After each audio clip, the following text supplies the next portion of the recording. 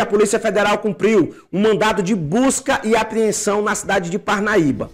No âmbito da quarta fase da Operação Passe Livre, ao todo, 27 mandados foram cumpridos nos estados do Piauí, Pará, São Paulo e Tocantins. O mandado foi cumprido na residência, um dos foi cumprido na residência de um estudante, o Magela Lima tem detalhes. A Polícia Federal desarticulou no dia de hoje uma quadrilha que fraudava vestibulares online.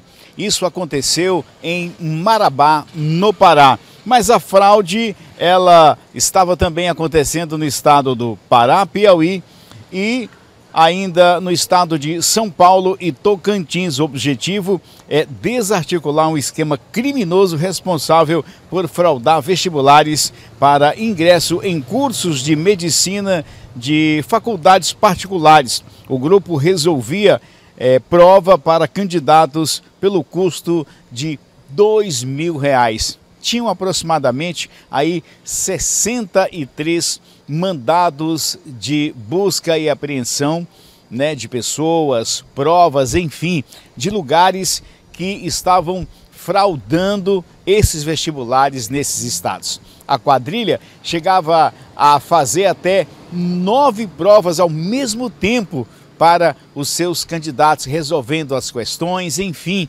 colocando esses candidatos dentro das universidades através da, do fraude nesses vestibulares. Eles conseguiam quebrar o sistema de segurança das provas, faziam as provas, davam as questões, outras pessoas é, faziam a prova no lugar do candidato, uma verdadeira festa dentro das provas dessas faculdades particulares nesses estados que eu mencionei. A Polícia Federal fez a investigação, cuidou disso direitinho e hoje foi o dia de dar o bote, colocando pessoas atrás das grades, enfim, acabando com a festa nesses estados, nessas fraudes nos vestibulares online.